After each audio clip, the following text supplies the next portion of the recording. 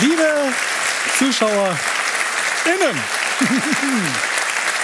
Und ich sage das ganz bewusst, liebe ZuschauerInnen, ich sage das, weil in der hessischen Landesverwaltung Gendern mit Sonderzeichen ab sofort nicht mehr erlaubt ist. Auch in Bayern ist ja in Schulen, Universitäten und in Behörden ab April keine Gendersprache mehr gestattet. Keine Sonderzeichen mehr wie Sternchen, keine Doppelpunkte, nicht mal Kruzifixe dürfen mehr benutzt werden.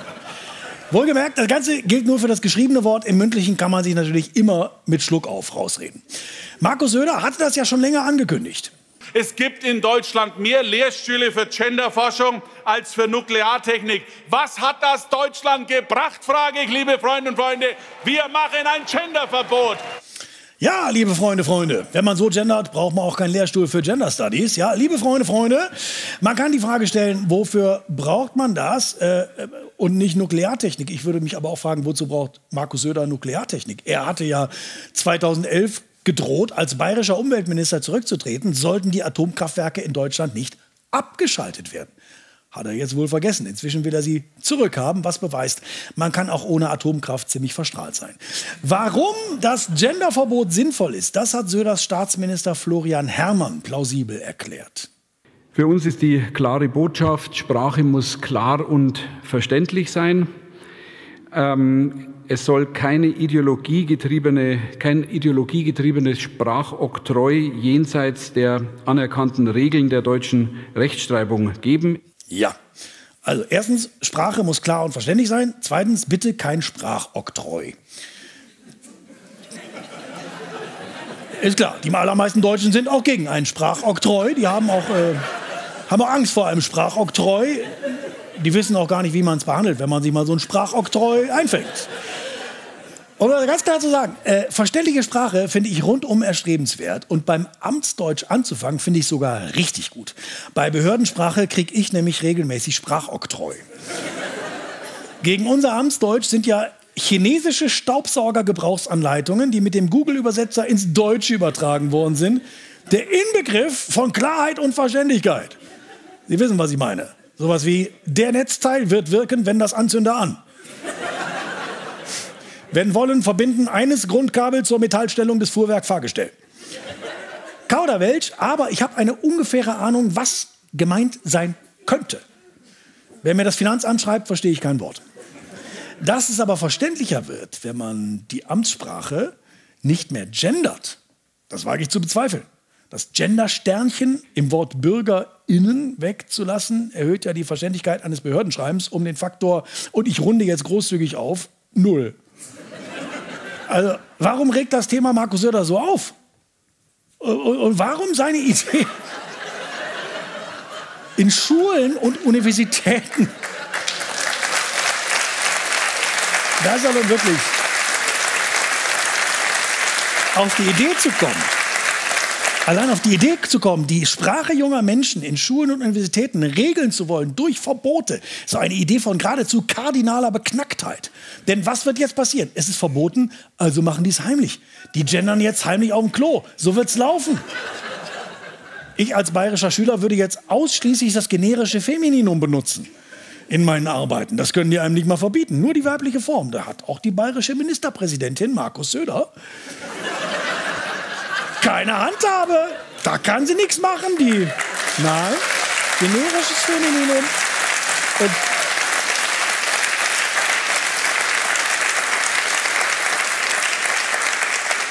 Und die Söderin hat sicher kein Problem damit, mit einem falschen Geschlecht angesprochen zu werden. Das findet sie bei anderen ja auch unproblematisch.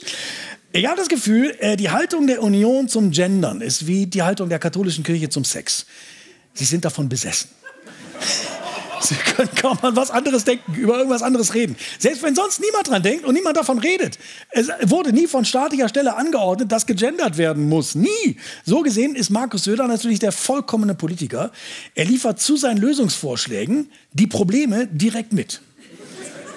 Es gibt auch in anderen Bundesländern schon Genderverbote. Ja, jetzt aktuell Hessen, Thüringen auch und so weiter. In Bayern habe ich das Gefühl, wird es aber ganz besonders zelebriert. Ist das blanker Populismus oder Glaubt man in Bayern wirklich, die deutsche Sprache in besonderem Maße schützen zu müssen? Das frage ich nun die bayerische Sprachwissenschaftlerin Dr. Maike Kühl vom Edmund Stoiber Institut für angewandte Linguistik. Guten Abend, Frau Dr. Kühl. Grüß Gott. Hallo, Servus. Grüß Gott. Schön. Herzlich willkommen. Hering. Hallo. Frau Dr. Kühl, warum?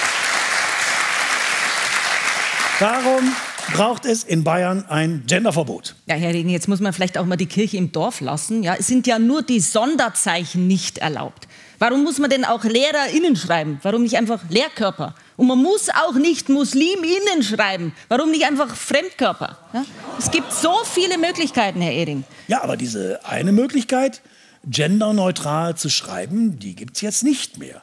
Warum wird das eigentlich speziell in Bayern als Sprachverhunzung wahrgenommen und anderswo nicht? In Niedersachsen zum Beispiel? Ja, weil das Sprachgefühl in Bayern nun mal besonders ausgeprägt ist. Ach was? Ja, natürlich. Ja. Bayerisch gilt als das Latein mit vier Promille. Ja, das, ja, das,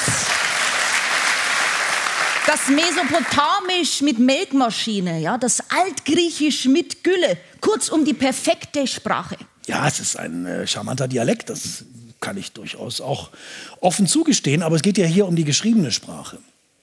Ja, die geschriebene Sprache. Aber wissen Sie, Herr Edding, was ja vielen Leuten überhaupt nicht klar ist, die, die Kulturtechnik des Schreibens ist ja in Bayern überhaupt erst erfunden worden. Ja? Deswegen dürfen wir in Bayern auch festlegen, wie geschrieben werden darf. Ich meine, das wäre woanders, oder? Das Schreiben ist das nicht. Ich meine, das wäre damals äh, zwischen Euphrat und äh, Tigris. Ist das doch? Ist das nicht in Mesopotamien mit zwei Stromland? Ich glaube schon. Na, aber perfektioniert wurde die Schrift zwischen Isar und Donau. Ja? Mhm. In dieser wunderschönen Landschaft ohne, ohne Kohlekraftwerke, ohne Windräder, ohne Elektroleitungen. Ja? Das sogenannte Keinstromland. Ja? Ja. Und ja. Herr Ehring, auch phonetisch ist das Bayerisch ja so viel reicher als das, was man beispielsweise im Norden Deutschlands so verkümmertes rausgurgelt. Das finde ich erst ein klein bisschen beleidigend. Ja, das war auch so gemeint. Aber da kann ich ja nichts dafür, Herr Ehring. Ja, Bayerisch ist einfach die schönste Sprache der Welt. Schauen Sie, im, im Italienischen, da hat man so wunderschöne Wörter wie Aurora, ja, die Morgenröte. Oder das türkische Wort für, für Meeresleuchten, Jakamos. Ja. Oder das wunderschöne Wort Saudade, ja, portugiesisch für Sehnsucht. Mundharmonika heißt im Bayerischen Fotzenhobel. Fotzenhobel, Hering, ist das nicht schön? Ein Volk, das solche Wörter hervorbringt, ja, das hat die absolute Kompetenz in Sachen Sprache, wirklich. Ja, aber, ähm, ja, aber, ähm, aber der Fotzenhobel, der, ähm, der Fotzenhobel, der Fotzen, ja, der Fotzenhobel wird ja auch in Zukunft nicht gegendert. Ja, das wäre noch schöner hier. Gegenderte Fotzenhobel, Fotzenhobelinnen, das ist doch ein Schmarrn jetzt hier. Ja, aber warum bleibt da nicht einfach alles, wie es ist? Ich begreife es immer noch nicht. Sie begreifen es immer noch nicht? Nein, ich begreife es immer noch nicht. Sie begreift das immer noch nicht. Sprache ist in Bayern einfach sehr effizient organisiert. Ja, wir sind da einfach viel weiter. Wir, wir sparen konsequent Silben ein. Schauen Sie, Erin, ein Wort wie gemacht wird in Bayern so gemocht eine Silbe gespart. Ja? Gearbeitet, gearbeitet. Zwei Silben gespart. Oder hier, da geblieben, da blieben. Merken Sie was? Herr Edding, merken Sie was? Ähm, wenn wir jetzt auch noch BürgerInnen sagen, ja, das wäre ja, wär ja für bayerische Verhältnisse geradezu geschwätzig. Aber das Wort BürgerInnen auszusprechen, das, das kostet doch keine Zeit. Zwei Silben mehr. Herr Edding, zwei Silben mehr und eine Pause im Wort. In Bayern macht man keine Pause im Wort außer beim Trinken. Ja, der Bayer sagt nur das, was er sagen muss. Wir haben ja sogar das Eiwanger Alphabet. Das was das Eiwanger Alphabet? Das Eiwang, das ist das einzige Alphabet im indogermanischen Raum, das konsequent ohne A auskommt. Ja, wenn man das A durch das O ersetzt. Jetzt hören Sie mal ganz genau hin, Herr Ehring sondern da sage ich ganz klar, ein Gesundheitsminister müsste sich doch dafür kümmern, dass unsere Krankenhäuser Zukunft haben und nicht geschlossen werden und der Landwirtschaftsminister, dass unsere Landwirtschaft Zukunft hat. Verständlichkeit, ja.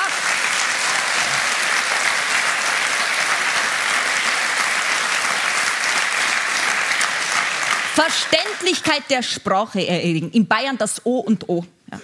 Vielen Dank, Dr. Maike Kühl. Dankeschön, Hering. Zum Glück, zum Glück ist die CSU ja nur beim Gendern eine Verbotspartei und sonst wahnsinnig liberal. Okay, die Cannabis-Legalisierung würden sie natürlich auch direkt rückgängig machen, wenn sie mal wieder im Bund in die Regierung kommen. Also da sind sie für ein Verbot und für ein Burka-Verbot war die CSU auch schon. Aber sonst verbieten sie ja gar nichts. Höchstens die Ehe für alle.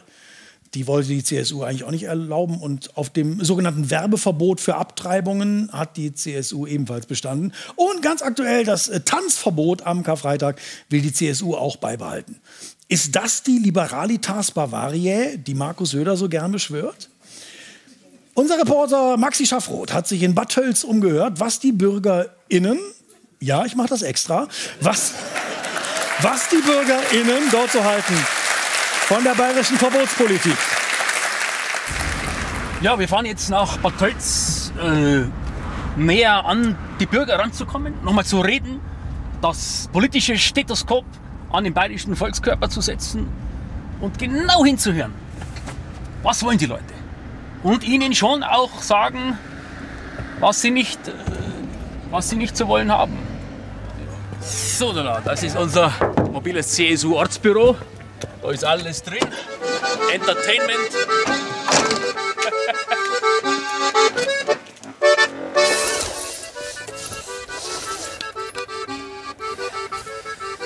Das ist unser Credo. Verbieten, was verboten gehört. Weil wir als CSU stehen für die guten Verbote. Nicht diese Schmarrenverbote der Grünen, sondern mit einem gesunden Menschenverstand, kurz gesagt. Ne? Servus, grüß euch. Wo geht's, kommt's her, wo geht's denn hin? Wollt's, äh, habt ihr einkauft? Was habt ihr? Habt ihr Fleisch gekauft? Fleisch haben wir auch was Habt ihr, ganz wichtig. Das habt ihr gewusst, dass man in Bayern nicht unter 25 Gramm Fleisch mit sich führen darf. Also schaut, dass ihr gescheite Politik macht. Diese grüne Vegane, das klumpt da, du hör mal auf. Nein. Du. du, wir schauen, dass wir die Grünen, dass wir es rausbringen. Ich bin ja mittlerweile für ein Grünenverbot. Das ist ja unmöglich, was da hat das abgenommen? wird. Ja, ein bisschen was. Unmöglich. Hast du recht. Also ja. das sind Kasperl, du. Und da sage ich, das Verbieten, das war bei der CSU immer schon besser aufgehoben. ja, ja. Ihr macht es schon besser. Ich sage Ihnen gleich, Ja. Sie verbieten auch viel. Sie verbieten die Gendersprache. Ganz genau.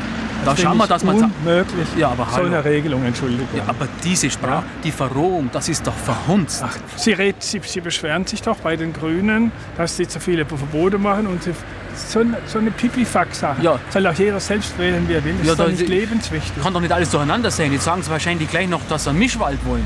Tofu, Scheiß. Und wir, wir sagen, das verbieten wir. Wir verbieten diese ganze. Dass dir ein Sellerie-Schnitzel, weißt das dürfen sie ja Schnitzel nennen. Ja. Das ist ja unmöglich. Es ist ja kein Schnitzel. Nein, überhaupt nicht. Es ist kein Schnitzel und das darf auch nicht so genannt werden. Mir bleibt beim Fleisch. Was ist die Idee? Was könnte man verbieten? Er muss sich besser an den Tisch zusammensetzen und das ausdiskutieren. Haben wir doch alles gemacht. Komm, Und da muss hör halt- auf, hör auf, du. Haben wir alles gemacht. Ah, Mensch, der Dragan. Grüß dich, du. CSU wählen, gell? CSU wählen nicht vergessen. Okay. Mach's gut, vierte. Hast du nichts zum Arbeiten oder was? Ja, komm, geh her. Ja, servus. Was ist da los? Nicht zum Interviewen, Ach, oder? du hör auf, du. Wir machen ein bisschen, bisschen Tuchfühlung mit den Wählerinnen und Wählern. Ein bisschen Ja, vor der Europawahl nochmal gegen die Grünen und so. Ja, das finde ich nett. Ja, du, Hans Wurst sagst du. Die Grünen müssen weg, du, ich sag's dir.